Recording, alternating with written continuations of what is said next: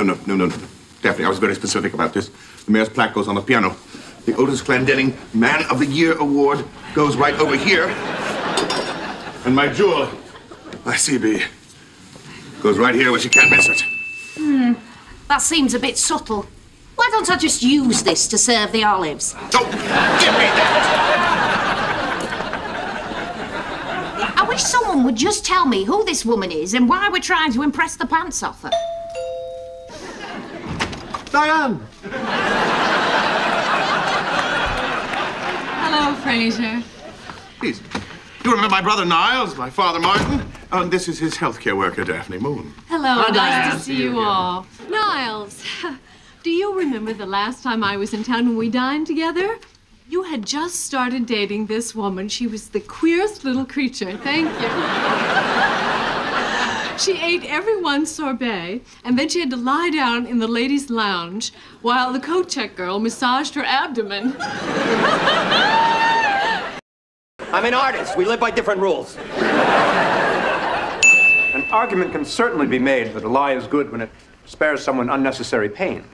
I'm reminded of Maris' brief flirtation with activewear when I assured her, You look fine, darling. Spandex is supposed to blouse.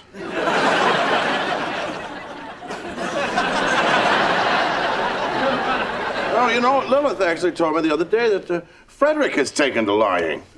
Yes, he told all of his friends that Lilith is an alien. Seems as good an explanation as any. Yes, he also told him that she wears her hair in a bun to hide the third eye in the back of her head.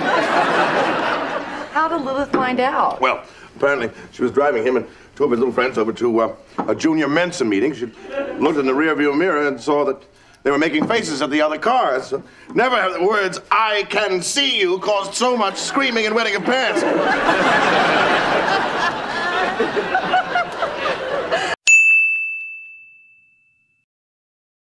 I'd like to thank Frasier Crane for his friendship.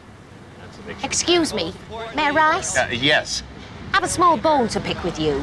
I can't say I care for the way your city treats us poor aliens. Uh, you're an alien. Yes, Daphne Moon. You see, my friend Zena and I, she's an alien too. We're trying to get down to Mazatlan to rendezvous with her mother's ship. Her, her, her mothership?